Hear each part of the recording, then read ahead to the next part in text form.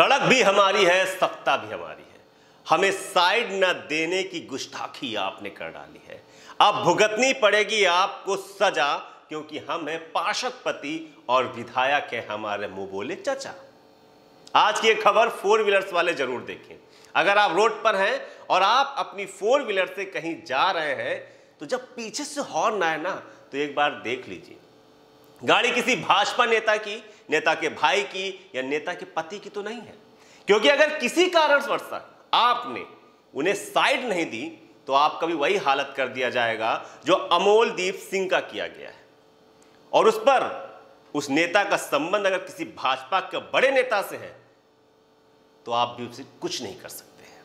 क्या है पूरा मामला? किस बात को लेकर मैं आपसे बात कर रहा हूँ? सब कुछ बताता हूँ। शनिवार रात एक बहुप्रतिष्ठित मेडिकल स्टोर संचालक अमोल दीप सिंह अपनी पत्नी के साथ थार गाड़ी में डिनर करके घर लौट रहे थे। अमोल दीप की पत्नी के अनुसार अफीम कोठी के पास ओवरटेक के दौरान यशोदा नगर के भाजपा पार्षद सौम्य शुक्ला के पति अंकित शुक्ला सत्ता के नशे में चूर होकर बार बार ओवरटेक के लिए हॉर्न दिए जा रहे थे। लेकिन साइड न होने के कारण अमोल उन्हें ओवरटेक के लिए साइड नहीं दे पाते।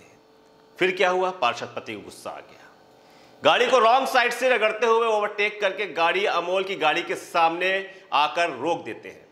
इसके बाद पार्षद पति अंकित शुक्ला अपने साथियों के साथ मिलकर मेडिकल स्टोर संचालक को पीट पीट कर मरणासन कर देते हैं। हालत यह है कि अमोल को दिल्ली शिफ्ट किया गया है। वे गंगाराम हॉस्पिटल में भर्ती हैं। हॉस्पिटल की मेडिकल रिपोर्ट्स के अनुसार अमोल की एक आँख की पुतली तक बाहर आ गई जबकि दूसरी आँख 60 प्रतिशत क्षतिग्रस्त हो गई। इस प्रकरण में खूब किरकिरी होने के बाद रायपुरवा पुलिस ने अमोलदीप की तहरीर पर यूपी अठहत्तर जीबी वन के चालक व भाजपा पार्षद व अन्य के खिलाफ आईपीसी की धारा 324, 354, 504 और 506 में मुकदमा दर्ज किया था लेकिन किसी का नाम नहीं खोला था। बताया जा रहा है कि अंकित विधानसभा अध्यक्ष सतीश महाना के खास राजनीति नजदीकी वाले हैं। उनका वार्ड भी उन्हीं के विधानसभा में आता है। सूत्रों के अनुसार विधायक सतीश महाना ने पुलिस के आला अधिकारियों को कहा है कि दोनों तरफ़ के लोगों की सुनकर ही आगे का फैसला ले और उनका पीए लगातार अंकित शुक्ला का साथ दे रहा है। इस वजह से मामूली धाराओं में मुकदमा दर्ज किया गया था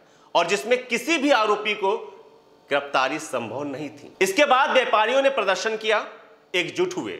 भाजपा के ही अल्पसंख्यक मोर्चा का भी विरोध प्रदर्शन हुआ। ज्ञापन दिए गए। तब कहीं पुलिस की कान आँख खुलते हैं।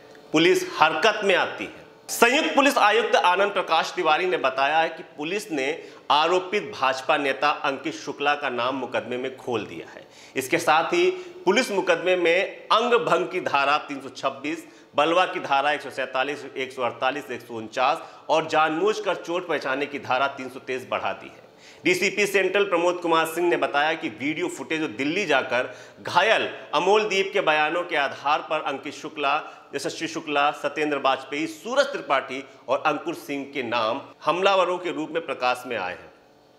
आपको बताते चले कि अब अंकित शुक्ला की गिरफ्तारी के चांस बढ़ गए हैं, क्योंकि आईपीसी की धारा 326 में 10 वर्ष तक की सजा का प्रावधान है। दोस्तों, अब देखना यह होगा कि अंकित शुक्ला जिसके वरिष्ठ भाजपा नेताओं से संबंध है, क्या उसको बचा ले जाएँगे? अमोद को क्या न्याय मिलेगा?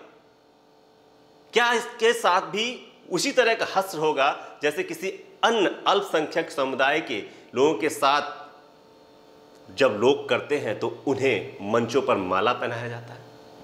क्या अंकित शुक्ला को भी इस कृत्य के लिए भाजपा नेता मंचों पर माला पहनाएँगे। ऐसे इसी से जुड़ी हुई खबरों को आगे इसके अपडेट के लिए बने रहें कबीर न्यूज़ के साथ। नमस्कार।